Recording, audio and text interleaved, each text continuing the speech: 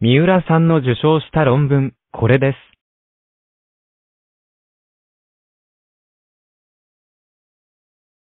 話題の三浦瑠麗さんですね。でね、えー、その国際政治学者としてこう彼女がその世に出るきっかけになったでそれ公開されているのでさあその世に出るきっかけになったその論文というやつの、えー、見ましたはい中できたのでちょっと読んでみたんですけどこれは何だというあの感じでしたのであの、ね、それについてね自由民主党主催の第1回国際政治外交論文コンテストで自民党総裁賞を受賞したと。すごいじゃないですか。素晴らしいですよ。しかも何？これ、三浦瑠麗さんが大学4年生の時の論文だそうです。すごい、超キラキラじゃないですか。日本はアジアの諸国家の中で最初の近代化を成し遂げ、戦後は平和主義の理想を高く掲げつつ、世界有数の経済大国、技術大国となった。日本が、日本は日本はって続いてるの。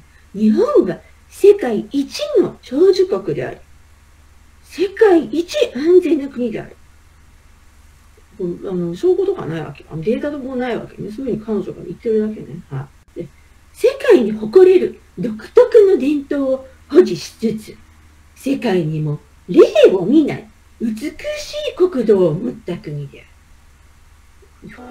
我々日本人は国際社会においては、まさにジャパニーズドリーム体現者であることをまず自覚すべきである。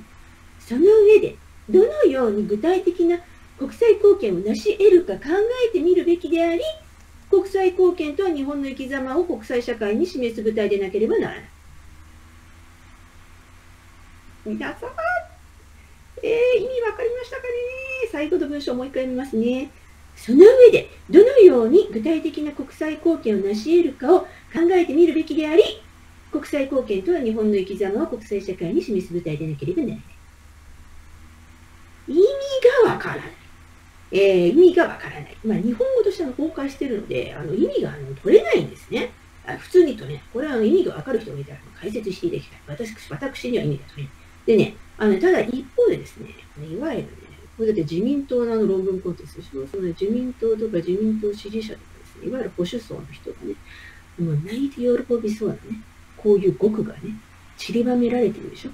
例えばほら、日本はね、アジアの諸国家の中で最初に近代化を成し遂げたとか、平和主義の理想を高く掲げつつとかね、世界有数の経済大国となったとかね。日本一は、日本じゃ日本は世界一の長寿。